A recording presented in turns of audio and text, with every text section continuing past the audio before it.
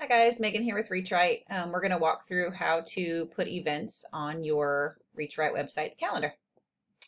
Um, so we're looking at this website here today. Um, currently, uh, we've got just one event here um, that's been created. So just so you guys can see what an event looks like. So when there's nothing going on, there's nothing on the calendar. If there is an event, um, you'll see that uh, blue dot. And so this shows us we've got one event here. So let's go take a look at what an event looks like. So you can have a photo in here, which is a great idea to have. You've got your um, event title. This is your event content. So you can put as much or as little information that you have about your event here. Um, this has got a countdown module here. Um, you've got your date of the event, um, the time, location, um, the category of the event, and you can put an organizer if somebody needed to be contacted um, for a special event or whatever. And then it'll also show you the next event. So if this is recurring, if it happens more than once, it'll show you, hey, the next time this event happens is February 29th. And then you've also got the share module. So somebody can post this to their social media account um, or send it in an email. So pretty convenient there. So um, let's go make another one. So we're going to go up here to new. Once you've logged into your um, website, you'll have a black bar up here. We're going to go to new event. And so um, this is where we're going to add um, that event title. So let's do, some of you guys will want to add your Sunday service on your calendar and others don't. Um, I just kind of wanted to show you a good recurring event. So obviously this happens every Sunday as in some of the other events you will be making are a one-off or um, happen pretty rarely or maybe just occasionally. So we'll do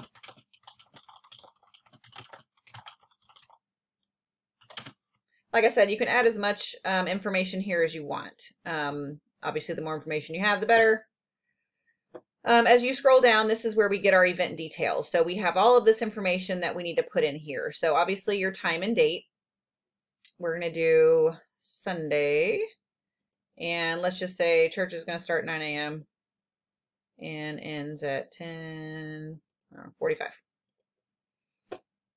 End date will be the same as the start date, so don't forget to put that. If it's just um, if it's not a multi-day event, uh, make sure you do put that it ends on the same day. Okay.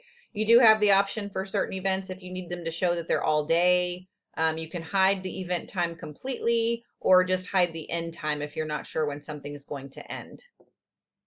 Um, now, if this event is repeating, we're going to go to here. Um, we're just going to check this box. Yes, it repeats. This is where it asks you, how often is this event repeating? So um, mine is obviously every Sunday. Um, there's been some bugs occasionally with uh, this calendar system. So to save yourself from any hassle later, instead of saying it happens weekly, I like to do the um, certain weekdays, and then we're just going to choose it happens every Sunday. Okay. Um, I'm going to show you the other options of your recurring events that you have. Obviously, you have daily, um, every weekday and every weekend. This means that it's both Saturday and Sunday. So obviously, if it's every weekday, that's Monday through Friday. So maybe something like your VBS or, um, you know, a prayer, a prayer week thing that you've got going on every weekday includes Monday through Friday. So that's why the certain weekdays you can just do it happens every Sunday. Um, if you've got a you know grief share, it might be every Wednesday, something like that. Um, obviously, you have your I would skip the weekly. So then we've got your monthly events, which are really on the on the same day of every month. Obviously, your yearly events, maybe that's a finance meeting or something. Um, your custom days, that's just a way for you to say if it is, um, if you literally need to go in here and choose specific days that something is happening. Um, you can go in here, add the day, it's going to end on the same day, and then you can add a add a, the next time. Okay. Um, and then your advanced days, this is if something is, you know, the third Thursday of every month. Um, this is an easy way to do that as well. So that is that. I'm going to go back to my certain weekdays on Sundays. So obviously my Sunday service never ends. So we're going to leave this on as never. But if this was something like a life group that is a 12 weeks long, um, something like that, you can obviously put that it ends after 10 episodes, or it, it ends on a certain date. Okay. All right, so if you have, um, there's other tabs over here we can go into. So hourly schedule, this would be like for a conference if you wanted to list out um, what's happening on your hourly schedule, you've got that option here. Um, your location. Um, this is obviously good. Um, I'm just going to pick here. We'll pretend like that's my church address. Um, but if you if you're having an event that's maybe not located at the church, obviously that's needed information. You're just going to go to insert a new lo location where you can type in um, the location name, whether it's you know the Starbucks on the corner for your men's breakfast or whatever. Um, you'll add in the location address here, um, save that, and then that way next time you come in, you'll have your location saved. Okay, this just obviously gives the address to your event, which is needed.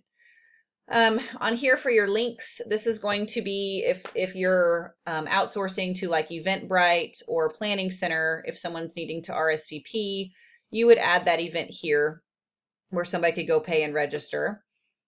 Um, for your organizer, this is really for, um, you know, if you want to add a new organizer, this is so if, if somebody's needing more information on an event, this will bring up the person's name. Um, you can give an email address and phone number in case they needed to contact you if they had questions about your event um, or if it's like a life group or something like that. You can add a new organizer here, name, phone number, address.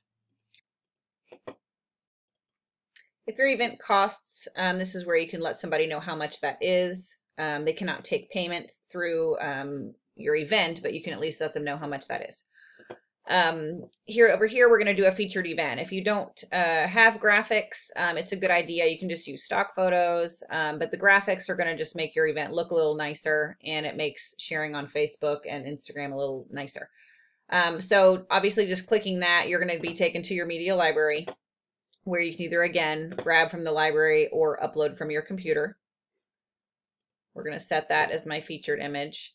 Um, this event I just kind of categorized as church-wide. Um, using your categories is important so that somebody on your um, calendar can, if they're looking for something specific, whether it's youth events, um, they can just choose the category that they're looking for and it only will show events for that specific category rather than your um, whole church calendar. So um, events or categories you can stick over here. You would just add a new one.